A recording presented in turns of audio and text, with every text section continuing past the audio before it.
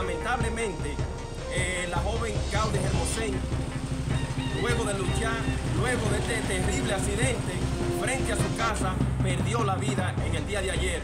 Gaudí permanecía ingresada en el Hospital San Vicente de Paul, junto también a lo que era el señor Nelson, mejor conocido aquí en la comunidad Cercado como Chiqui,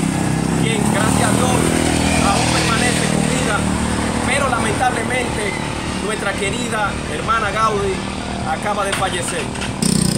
Es todo lo que tengo de acá de la comunidad de Cercado. Soy Amable Martínez en cámara Jeffrey.